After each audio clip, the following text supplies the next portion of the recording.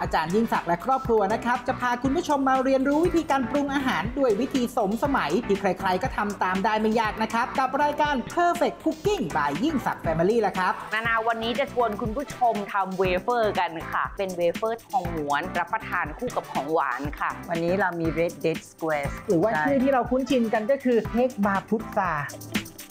วันจันทร์ที่ 11 พฤศจิกายนนี้ เวลา 9 นาฬิกา 40 นาที ทางช่อง 8 กดเลข 27 นะครับ